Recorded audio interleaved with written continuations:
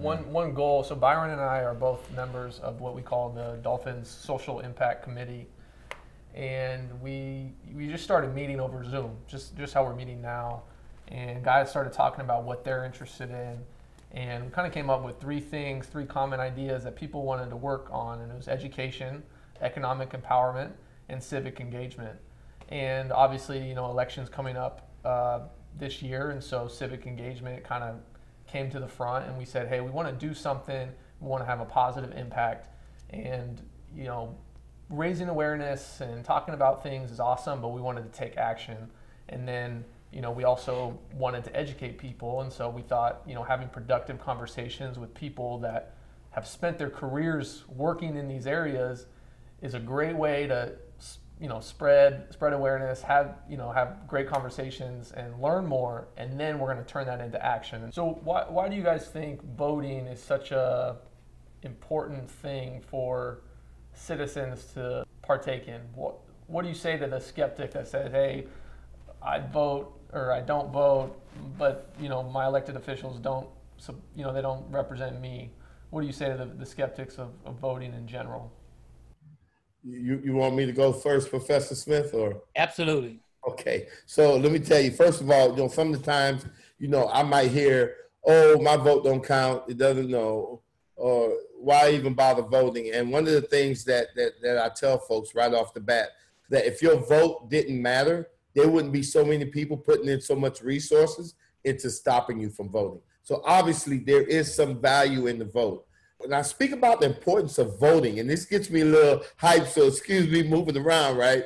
But when we look at, for instance, you know, if, if I'm the mayor of Miami or Dade County, right, and I look at, at Liberty City, right, and I compare it to, say, Pinecrest, which is a more affluent area, right, that actually dictates a lot of things, right? So when I look at Liberty City, right, the first thing I see is that there's a lot of people in Liberty City who can't vote because of a, uh, felony conviction. And that's because of the over policing that we see in, like, say, the Liberty cities or the Overtowns, right? But you don't see that in that type of policing in, say, Pinecrest. Now, this is what happens, right? At the end of the day, right, as a politician, the number one job is to get reelected.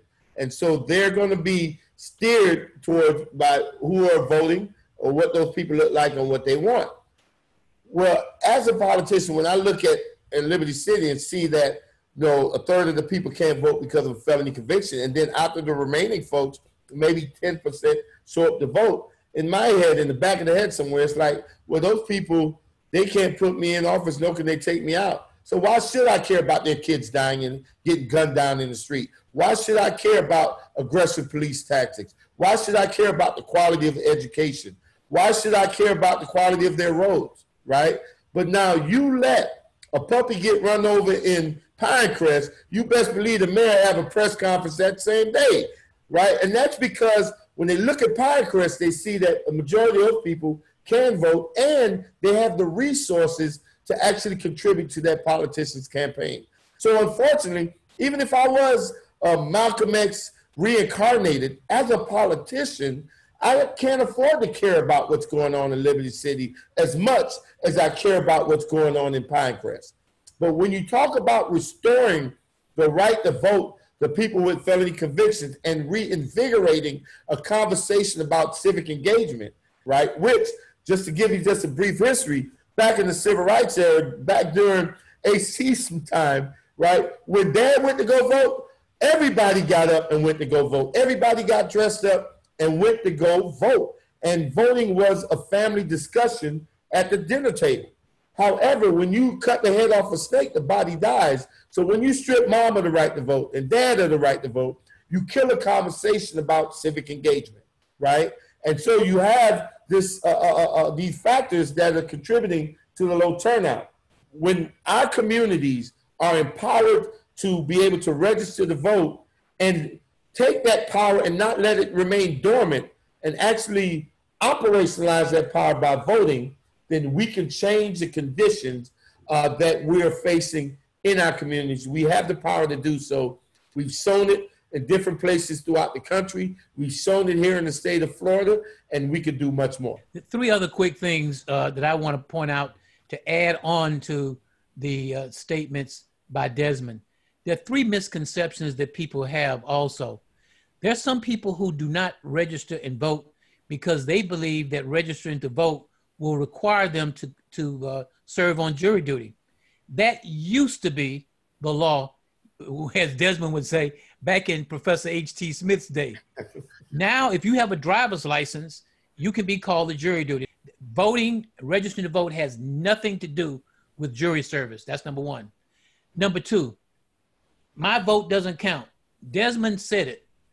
The 2000 presidential election was decided by 527 votes in the state of Florida. Trust me, your vote makes a difference. Third, the people that say, I, am not in politics, I, I'm, so I don't vote. You might not be in politics, but politics is in you. politics is in everything that's important in your life. Politicians decide how much taxes you pay for everything you buy. Politicians decide on Pell Grants and monies that people can use to go to school.